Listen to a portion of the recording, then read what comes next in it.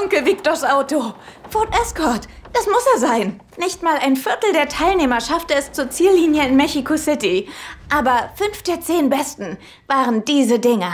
Daher auch der Name.